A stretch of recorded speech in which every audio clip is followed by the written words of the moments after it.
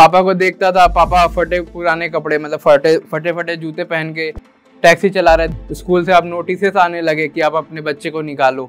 Eleven में fail हो गया ड्यू टू ऑनलाइन डिस्ट्रैक्शन जो देख रहा हूँ मैं मेन बिल्डिंग आईटी बॉम्बे लिखा हुआ है एक। अब वो इंस्टीट्यूशन का मैं पार्ट होने वाला हूँ। मैं एक महीने में वो कैसे कर लिया? वो मैं कोई तो रॉकेट साइंस तो नहीं लगाया, कुछ बेसिक स्मार्ट स्ट्रेटेजीज मैंने लगाई थी। एक टैक्सी ड्राइवर का बेटा, एक स्लम से निकला हुआ एक लड़का आईआईटी दिल्ली में पढ़ रहा है, या एक गरीब परिवार का लड़का, एक मिडिल क्लास फैमिली का लड़का, जिसके मतलब सपने एम्बिशन बहुत बड़े थे, लेकिन उसके पास प्रॉपर संसाधन नहीं थे। इसके बावजूद भी मतलब वो कक्षा ग्यारहवीं तथा कक्षा बारहवीं में फेल हो गया। बहुत मुश्किल से उसने जेई जेई का जो एलिजिबिलिटी क्राइटेरिया होता है सेवेंटी फाइव परसेंट का, वो निकाला। उसके बाद सेशन वन में फेल होने के बावजूद, उसने फ़र्स्ट अटेम्प्ट में जेई एडवांस क्रैक किया, तथा आईआईटी दिल्ली के मैथमेटिक्स एंड कंप्यूटिंग ब्रांच में पढ़ता है। नमस्कार दोस्तों मेरा नाम है रोहित शॉ और आज मैं अपनी कहानी आपको सुनाने जा रहा हूँ। पापा को बोलता था कि ये घूमना है तो पापा टैक्सी चलाते थे। पापा जितनी उनसे हो सके उन्होंने ये घुमाया। टैक्सी में आगे फ्रंट फ्रंट में बैठा के दिखाते थे कि ये विक्टोरिया मेमोरियल है। पीछे पैसेंजर बैठा रहता था। पापा गौरवान्वित होके बो, बोलते थे आ, आ, पैसेंजर को कि ये मेरा लड़का है ये कुछ करेगा लाइफ में। तो उस परिस्थिति में आ, मैं जन्म लिया था। घर घर एक छोटा सा ही रूम था मेरा और उसमें मैं मेरे पिताजी मेरे माताजी और मेरी एक दीदी जो एल्डर सिस्टर है वो रहती है। उन्होंने भी बाद में नीट का एग्ज़ाम क्वालिफाई किया मेरे एक साल पहले। हम दोनों भाई बहन एक ऐसे परिवेश में पैदा हुए थे जहाँ मतलब दस दस रुपए की अहमियत बहुत थी। पापा को देखता था पापा फटे पुराने कपड़े मतलब फटे फटे फटे जूते पहन के टैक्सी चला रहे दिन रात टैक्सी चला रहे हैं। आस पड़ोस के मेरे जो आ, बच्चे थे उन बच्चों से मैं घुल नहीं पाया क्योंकि मैं बिहार से था तो लोग मुझे चिढ़ाते थे कि बिहारी बिहारी ऐसे करके चिढ़ाते थे। बहुत लोग बोलते थे टैक्सी वाले का लड़का है तो क्या ही इसके साथ क्या क्या इन्वॉल्व रहना? मैं अपने पापा के लिए कुछ करना चाहता था और मेरे को ज़रिया नहीं दिख रहा था कि क्या है। तो मेरे को दिखा कि आई की प्लेसमेंट बहुत ज़्यादा होती है और मैं सपना ठान लिया कि आई बॉम्बे लूँगा। आई बॉम्बे का सी एस लूँगा ऑल इंडिया रैंक वन लाए आज भी घर में जाता हूँ ना तो जगह जगह पे मेरे ऑल इंडिया रैंक वन लिखे रहते हैं कि all India rank one Rohit Shaw. ऐसे ऐसे मैंने सपने बुने थे। जिस पॉइंट पे मेरे को, मेरे माता पिता ने डांटना बंद किया, उस पॉइंट में मैं बिगड़ गया पूरा, जो आप बोल सकते हैं। ऑनलाइन में भटक गया, दोस्त यारों में घूमने लगा तीन तीन चार चार घंटे कॉल पे बात करने लगा, क्योंकि जियो का टाइम था अनलिमिटेड कॉल वगैरह होते थे। 2020 में कोविड का पीरियड आया तो सारे बिजनेसेस ठप हो गए टैक्सी वगैरह सब चलना ठप हो गए थे। तो घर में बहुत ज़्यादा फाइनेंशियल सिचुएशन खराब हो गई। जिस स्कूल में मैं पढ़ता था स्कूल से आप नोटिस आने लगे कि आप अपने बच्चे को निकालो। क्योंकि जब तक पैसा रहता है, तब तक सब अपने लगते हैं। और जब पैसा नहीं रहता तो कोई अपना रहता नहीं है। तो उस परिस्थिति में भी था। फिर वहाँ से इलेवेंथ में फेल हो गया। ड्यू टू ऑनलाइन डिस्ट्रैक्शन क्योंकि एक सेल्फ डिसिप्लिन की मेरे अंदर कमी थी, जो बचपन से ही थी। वरना मैं क्लास में कभी फ़र्स्ट सेकंड थर्ड भी नहीं आया था अभी तक। सेल्फ डिसिप्लिन की कमी रहते हुए मैं इलेवन फेल कर गया। बहुत बेयर मार्जिन से पास हुआ। मतलब एक सब्जेक्ट में ऐसा मेरे को याद आ रहा है, बस इतना पासिंग मार्क्स था और मेरे डॉट एग्जैक्ट उतने ही आए थे। तो उसके बाद भी ऐसे ही फिर ट्वेल्थ में जब आया तो मैंने देखा कि वो एक अलग से ही स्ट्रेस ले लिया मैं जीवन में। कि इलेवेंथ वेस्ट हो गया तो अब ट्वेल्थ कैसे करूँ? तो ऐसे बच्चों का भी होता है। तो फिर फिर मैं धीरे धीरे अपनी प्रिपरेशन करने लगा। घर में दिखती थी उदास हो जाता तो पापा भूतनाथ मंदिर अगर कोई कोलकाता से है तो वो जानता होगा। गंगा घाट के पास वो ले जाते थे। बोलते थे लाइफ में कुछ आ, करेगा नहीं करेगा लास्ट में यहीं आके मर जाना है सबको। तो जितना हो सकता है तेरे से कर। अगर कर लिया तो सही बात है नहीं है तो मतलब कुछ होगा नहीं। हम तेरे साथ है तो इस बात का कॉन्फिडेंस अभी तक मेरे साथ रहता है। अभी तक मैं, आपको मेरी जर्नी पता चली कि मैं कैसे फेलियर था।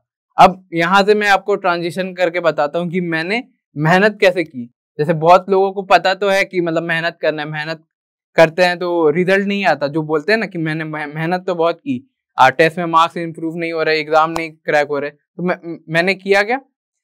मैं जैसे चटाई पे सोता था कंफर्टेबल जगह जैसे बेड में सोने से छोड़ के अब चटाई पे सोता था तकिए के बदले बुक का बुक का ही तकिया बना दिया था कि मतलब बहुत मिनिमम सोता था, जैसे चार घंटे सो गया, पाँच घंटे सो गया, या तो कभी नींद आ गई मतलब दिमाग खुद ही बोलने लगा उस स्टेट में कि अब सो जा। ऐसे बैठ बैठ के सोने लगा। फिर क्वेश्चन इतने ज़्यादा करता था क्योंकि जेई एप्लीकेशन ऑफ़ कॉन्सेप्ट का एक एग्ज़ाम था तो मैं क्वेश्चन पे ज़्यादा ध्यान देने लगा थ्योरी पे कम। तो ऐसे ऐसे करके मैंने जेई एडवांस क्रैक किया आईआईटी क्रैक किया आईआईटी जो मतलब इंडिया का प्रीमियर इंस्टीट्यूट था फिर एक इंसिडेंट और भी आपको शेयर करता हूँ मैं, कि जब जेई एडवांस में दे रहा था, उसके बाद मैं उस दिन अकेले गया था, अपने पापा को मैंने, आज भी एग्जैक्ट याद है, कि मैंने पापा को बोला था, ये मेरी लड़ाई है, मैं आपके लिए कुछ करके आऊँगा। मैं चाहता हूँ कि मैं अपने पापा, अपने ना से ही तो अपने पापा का तो एक बार ड्रीम कर सकूँ, क्योंकि जो आदमी पचास साल तक या मतलब तीस साल, चालीस साल तक, जितने भी साल तक उन्होंने अपने बच्चों के लिए मेहनत की है, खुद मतलब कुछ पहना नहीं, कुछ किया नहीं उनके लिए एक बार तो मेरा फ़र्ज़ बनता है मतलब मेरा दिल तो पिघल जाता है, मेरे को नहीं पता बाकी होगा, कि एक बार तो ये एक डिजर्व करते हैं ये दस पंद्रह साल अपने लाइफ का सुकून से बिताने का। तो वो एक परिस्थिति थी। वहाँ से मैं, जब रिज़ल्ट आया जे एडवांस का, सितंबर था शायद, ग्यारह सितंबर था, मेरे को एग्जैक्ट याद नहीं आ रहा। मैं अपने पापा को बोला कि आईआईटी हो गया मेरा। तो तो वो एक एक मेरे भी आँखों में आँसू थे कि जेई जो जो, जो मैं मतलब समझ रहे हो ना अब मैं समझा नहीं पा रहा जो कभी टॉप नहीं करता था वो एक ऐसी इंडिया का जो टफेस्ट एग्ज़ाम जिसे मानते हैं उस साल का सबसे टफेस्ट पेपर था 2022 का आप सर्च कर सकते हो। उस पॉइंट पे आईटी क्रैक करके बैठना मेरे स्लम में किसी को पता नहीं मैं चुपचाप वहाँ से निकला। थोड़ा मैदान में गया, रोया धोया, कि मतलब ऐसा नहीं होता कि एक अलग ही फीलिंग रहती है आईआईटी मतलब जो देख रहा हूँ मैं मेन बिल्डिंग आईआईटी बॉम्बे लिखा हुआ है एक। अब वो इंस्टीट्यूशन का मैं पार्ट होने वाला हूँ। तो एक पापा मम्मी का तो ये था कि मान ही नहीं रहे थे कोई कि इसका हो गया। लेकिन मेरे को पता था, मैंने मेहनत की है तो रिज़ल्ट तो आना ही था।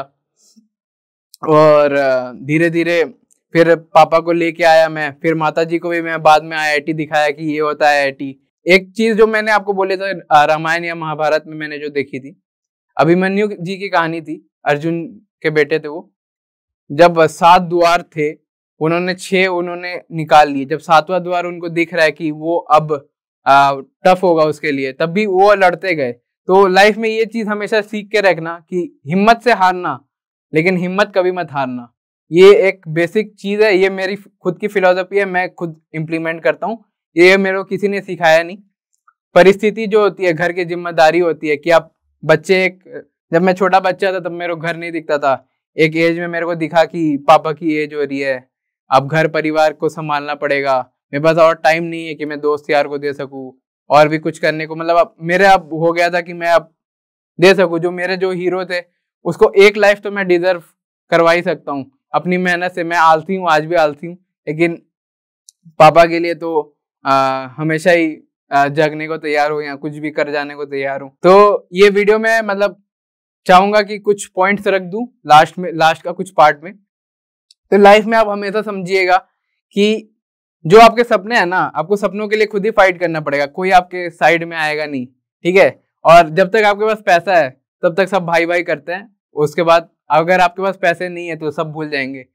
कोई आपको एक फ़ोन करके भी नहीं पूछेगा कि आप कैसे हो, नहीं हो, आप किस परिस्थिति में कोई नहीं पूछता। ये रियल रियल लाइफ है। आपको दस दस रुपये कमाने के लिए भटकना पड़ेगा। अगर आप अपने ड्रीम के लिए फाइट नहीं करोगे तो मतलब लाइफ में सीखने को तो बहुत कुछ है और आप हार मत मानिएगा। एक बेसिक होता है कि मैं आज आईआईटी में हूँ तो मैं आज सक्सेसफुल नहीं मानता अपने आप को। एक मेहनत करने की एक जो कला है, वो सब में आनी चाहिए। मेरे स्टोरी से अगर कोई अगर सीख सकता है कि क्या किया है तो मेहनत करना सीखिए। मैं जल्दी आऊँगा अपने, एक महीने में मैंने कैसे ट्रांजिशन किया अपने आप को, कि मतलब एक, जो भी था, जो भी परिस्थिति थी मेरी, मैं एक महीने में वो कैसे कर लिया? वो मैं कोई तो रॉकेट साइंस तो नहीं लगाया, कुछ बेसिक स्मार्ट स्ट्रेटेजीज मैंने लगाई थी कि ऐसे कर सकते हैं, इस एग्ज़ाम को ऐसे क्वालिफाई करना है, इस एग्ज़ाम को ऐसे कर सकते हैं। एग्ज़ाम को मैंने समझा रादर देन वो एग्ज़ाम को मैं समझ गया। उस टाइम पे मैंने एग्ज़ाम को जिस पॉइंट में अच्छे से समझाना वो शायद ही कोई समझ सकता है। तो मैं वीडियो खत्म करना चाहूँगा। राम राम भाइयों, मेहनत करते रहे और आप चाहता हूँ कि अपने माता पिता को भी एक बार देख लीजिए कि वो किस परिस्थिति में है या जो भी आपके सपने हैं ना, वो सपनों के लिए आप फाइट कीजिए, कोई नहीं आने वाला। धन्यवाद। हेलो एस्पिरेंट्स हो सकता है कि शायद हम में से कुछ स्टूडेंट्स को बेस्ट गवर्नमेंट कॉलेजेस में एडमिशन ना मिल पाए। जो स्टॉक्स की फैमिली ने जो स्टॉक्स को पिछले एक साल में कई बार कांटेक्ट करके ये पूछा है कि अगर मैं आईआईटी, एनआईटी या फिर ऐसे टॉप गवर्नमेंट कॉलेजेस में एडमिशन नहीं ले पा रहा हूँ और मुझे प्राइवेट में जाना पड़ रहा है तो मैं कहाँ जाऊँ? इतने सारे कॉलेजेस हैं और सब कहते हैं कि वो बेस्ट है। उनकी प्लेसमेंट्स बेस्ट है। तो सच क्या है? मैं कहाँ जाऊँ? अब अगर हम एक प्राइवेट कॉलेज में एडमिशन ले रहे हैं तो हमारी फ़ीस तो खर्च होने ही वाली है। इसीलिए बहुत इंपॉर्टेंट है कि हम करेक्ट जगह इन्वेस्ट करें, जहाँ हमारा करियर बन पाए। इसीलिए नीचे एक फॉर्म दिया गया है। प्लीज़ हम में से जिन भी स्टूडेंट्स को लगता है कि हमें अपने कॉलेज एडमिशन्स में थोड़ी सी मदद चाहिए, वो नीचे दिए गए फॉर्म को फिल कर सकते हैं। अगर हम ये फॉर्म फिल कर रहे हैं तो जो स्टॉक्स हमारा नंबर आगे उन कॉलेजेस को पास ऑन करेगा, जो जो स्टॉक्स के हिसाब से बहुत ही अच्छे और बेस्ट लेवल के इंस्टीट्यूट्स हैं। जो स्टॉक्स एक बड़े भाई के समान हम सबके साथ खड़ा है। Best of luck to all the aspirants जय हिंद।